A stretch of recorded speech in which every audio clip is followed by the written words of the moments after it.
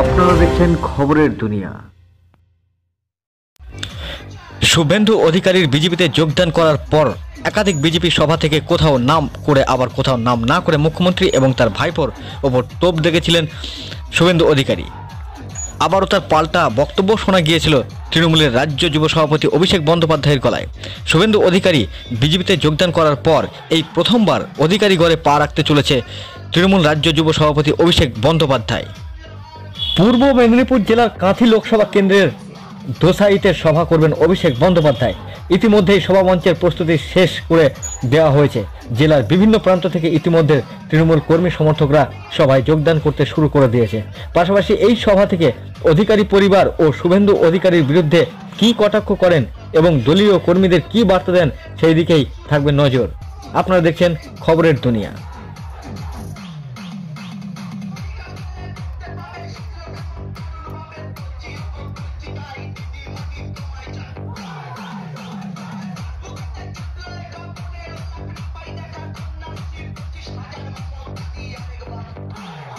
আমরা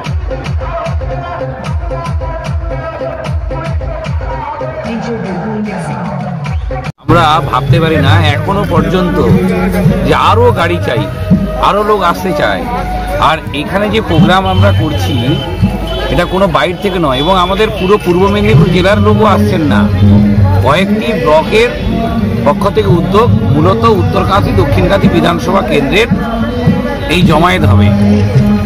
আর পাশাপাশি দু একটি ব্লক থেকে কিছু মানুষ আসবেন। তবে এই জমায়েতের মধ্য দিয়ে আজকে প্রমাণ হবে এলাকার মানুষ তৃণমূল কংগ্রেসের সঙ্গে ছিলেন, আছেন, আগামী দিন থাকবেন। শুভেন্দু অধিকারী গিয়ে আমাদের পার্টির কোনো ক্ষতি হয়নি। বরং যে চক্রান্তগুলো চলছিল দীর্ঘদিন ধরে দলে থেকে, সেই চক্রান্তের অবসান ঘটেছে। অভিষেক বন্দ্যোপাধ্যায়কে নিয়ে এক্ষুনি প্রশ্ন করছিলেন যে তাকে একটা অপ্রীতিকর ঘটনা ঘটেছিল। সেটাও একটা চক্রান্তির শিকার। সাধারণ মানুষ কেউ করেননি। এরা শিখিয়ে ও অর্থ দিয়ে পরবর্তী সময় তাকে পুরস্কার হিসেবে তাকে চাকরি দেওয়া হয়েছে। তার মানে এটা চক্রান্তই ছিল। কে করেছে বলে আপনারা জানেন যাকে নিয়ে প্রশ্ন করছেন যারাই চাকরি দিয়েছেন।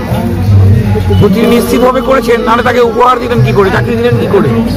এই সমস্ত খারাপ আমাদের বাংলার সংস্কৃতি আমাদের পশ্চিমবঙ্গের এটা জেলা ঐতিহ্যবাহী জেলা আমাদের পূর্ব মেদিনীপুর জেলার এটা সুনাম যে সুনাম ছিল তাকে নষ্ট করেছেন। কোনো অতিথি এলে তাকে সম্মান দেওয়া উচিত। এইভাবে আহ, নোংরামি করা এটা আমাদের ক্ষেত্রে লজ্জার। তো যারা এই সমস্ত ঘটনাগুলো ঘটাতো তারা আজকে দলের সঙ্গে নেই। মানুষ স্বতঃস্ফূর্তভাবে বেরিয়ে আসবেন।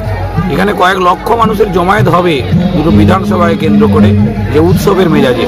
অভিষেক বন্দ্যোপাধ্যায়, আমাদের নেতা, প্রিয় নেতার কথা শুনতে, তার যে দিক নির্দেশিকা থাকবে আগামী দিনে, বুথে বুথে যুবকরা ঝাঁপিয়ে পড়বে সেই আদর্শকে মাথায় নিয়ে মমতা বন্দ্যোপাধ্যায়কে তৃতীয়বারের জন্য মুখ্যমন্ত্রী করতে পূর্ব মেদিনীপুর জেলার ষোলোটি আসনে, ষোলোটি আসন নির্বাচিত হবে তৃণমূল কংগ্রেসের প্রার্থীরা। জানা? আমি এই উত্তরকান্ড